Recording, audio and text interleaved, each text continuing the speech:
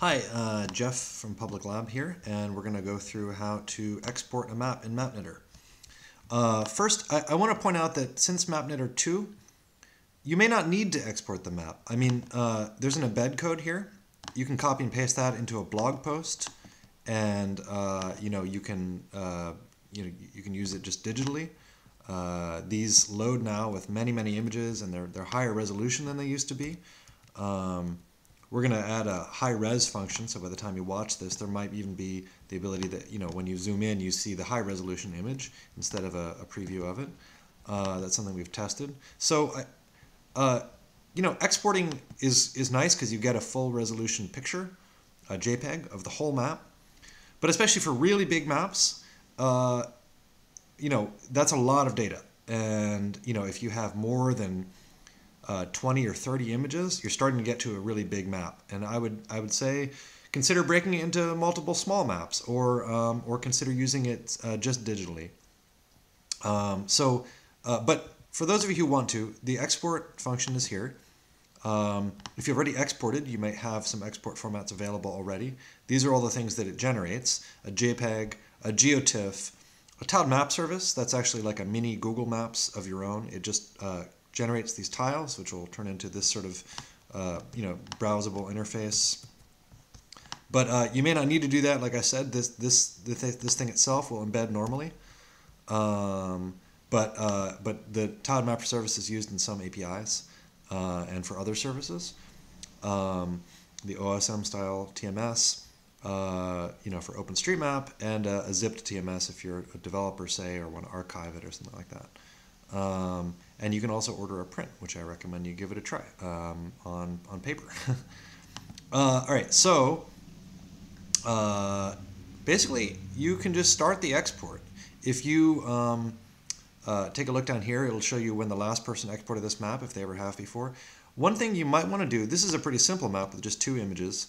Um, so I can start it, and anytime I can cancel it. And I don't have to leave the window open. It'll run uh, no matter what. So, um, and, and we're planning on adding a feature where it will email you when it's complete. Uh, we haven't done that yet, but, uh, but perhaps by the time you watch this movie, we will have. And now you can see it's going through your images. Um, the advanced options is pretty important though. It will default to an average resolution. It won't go below, below 5 centimeters per pixel to try to help you avoid making really, really high resolution maps uh, if you don't necessarily need them. I mean, 5 centimeters per pixel is already 10 times better than the average Google map, or probably the average Google map for cities. If you include rural areas or whatever, then, then it's, it's even better than that. Um, so it's, it's really quite good. At 5 centimeters, you can see birds, you can see individual plants. Um, let's say, though, that, that, that you're running it at this, at, at 5, and you notice it's going pretty slowly. It's not it's not working, uh, or or just taking too long or whatever. So I canceled it, and I could rerun it, but I'm actually going to change the resolution, and I'm going to bring it all the way up to 20 centimeters per pixel, which is still more than twice as good as most uh, Google Maps. Um, so I'm going here, and then I'm going to rerun the export, and now it's going to it's going to downsample these images uh, before it, it attempts to stitch them all together um, you know, or to combine them into a, single flat image. So uh, yeah, I mean, I think um, uh, with, this is the most important way that you can make it easier for the for MapKnitter to generate your export. One note is if you go too high, it says this right here, then it's going to spend a lot of time resizing your images before it gets to exporting them. And uh, you know, that's uh, going to potentially take a long time again. So there's sort of a middle ground. Uh, and I would say that if you aim between 5 and 20 centimeters per pixel, you're going to do pretty well. And, and just generally close to the average of your images, but a little bit low resolution is, is probably a good rule of thumb. It can take a little bit of finessing.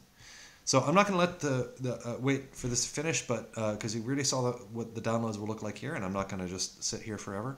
But uh, you'll notice that the downloads are no longer available, and that is true. Once you begin an export, it deletes the old exports. Um, so just be aware of that. Uh, we may change that in the future if we're able to host many, many copies of exports, but uh, it starts to add up in disk space pretty quickly. So that's it. Um, you do have to be logged in uh, to export unless it's an anonymous map, but um, most of you, I think, have publiclab.org accounts. And again, if you have trouble exporting or anything else, you can always go to the grassroots mapping mailing list, or if you really get in trouble or think it's a bug, to the uh, web at publiclab.org uh, support line. So good luck with your exports and your map making, and thanks a lot. This is Jeff Warren again from Public Lab.